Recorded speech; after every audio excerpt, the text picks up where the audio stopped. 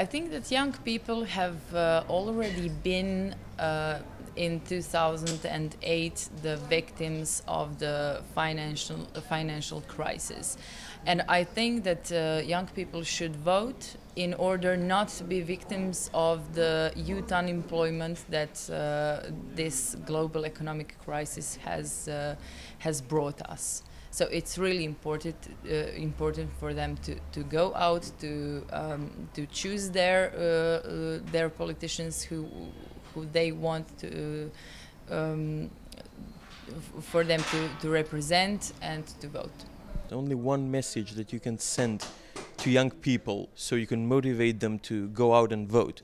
What will that sentence be? It is really important for young people to get involved because um, the Europe, uh, forthcoming Europe, is going to be all about young people, all about new jobs, all about fighting youth unemployment, all about education, Erasmus, etc.